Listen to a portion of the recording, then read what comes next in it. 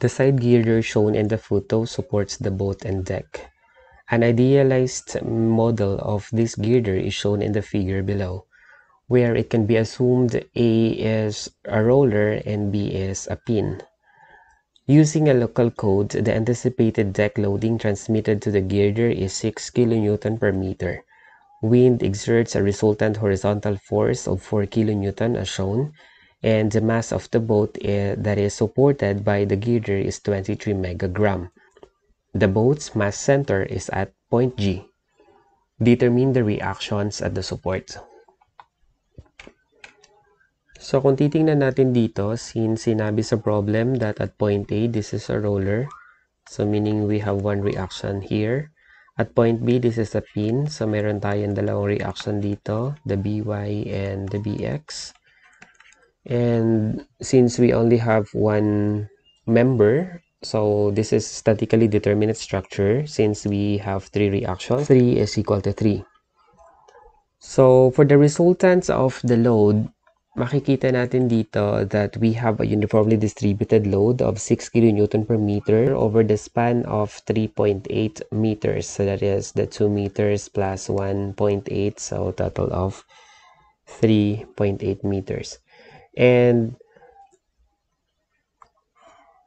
the resultant will be acting at the centroid which is half of the 3.8 that is 1.9 meter. And for the magnitude of the resultant we have 6 kilonewton per meter multiplied by the distance of 3.8 meters and that is equal to 22.8 kilonewton. For the mass of the boat which is given and it is acting at point G. So binigay naman na ang mass is 23 megagram.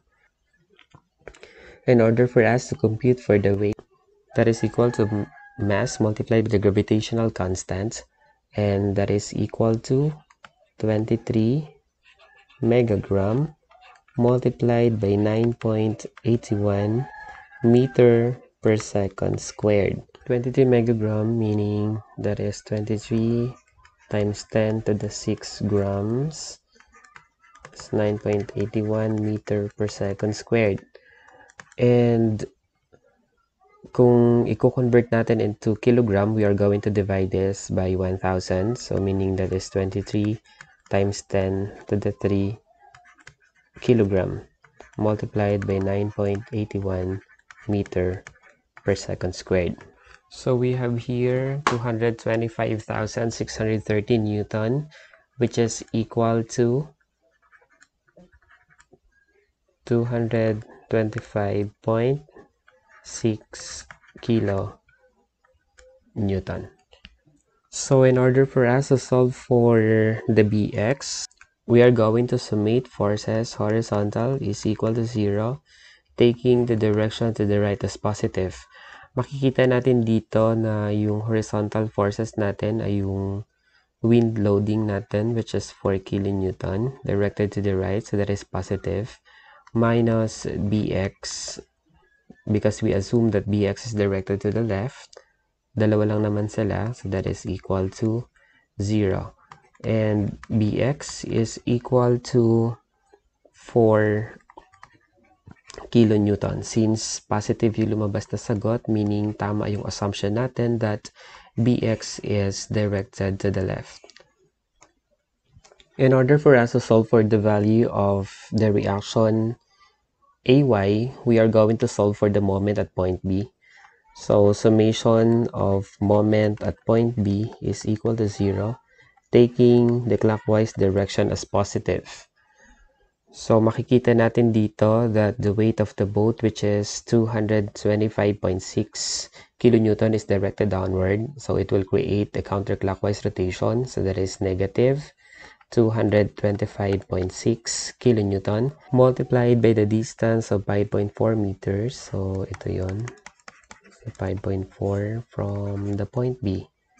It is just the total of this 2 meters plus 1.8 plus 1.6. For the wind load na 4 kilonewton, so ito yon. We have a clockwise rotation, so that is plus 4 multiplied by the distance of 0.3 meter. Then for the 22.8 kilonewton, that is counterclockwise, so minus 22.8 kilonewton multiplied by the distance of 1.9 meter.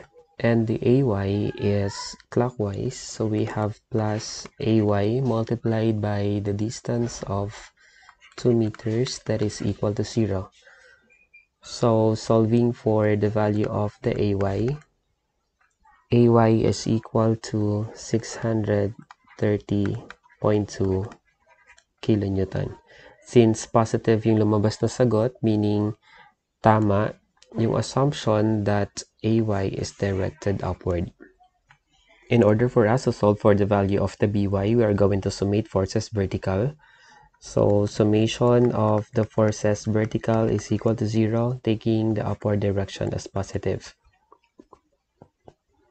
So we have here the weight negative because it is directed downward to 5.6 kilonewton and the 22.8 kilonewton is also downward so minus 22.8 kilonewton